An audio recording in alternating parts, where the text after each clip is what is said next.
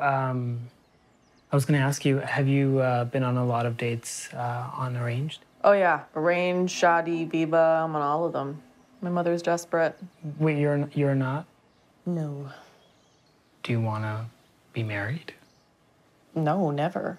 You want to die alone? It's just someone else to fight and disappoint and hate and no, it's just exhausting. Why do you want to get married? I just, well, it'll be nice to have someone to cuddle with. Yeah, well, you don't need to be married to cuddle someone. I literally do.